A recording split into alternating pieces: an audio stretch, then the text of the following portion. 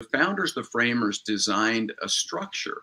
Uh, the Supreme Court has said even recently that the fragmentation of power produced by the structure of our government is central to liberty. Structure is how we preserve the voice of the American people. And if we go down the road of saying that's partisan, uh, Jonathan Turley, uh, you know, a self-prescribed, uh, described progressive, said down that road lies danger.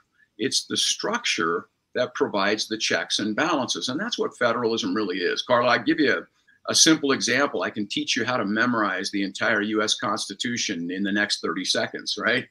It's very simple. The entire U.S. Constitution breaks down to if government, which government?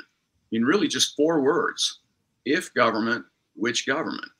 And so the, the very first question was Did the people delegate their sovereign power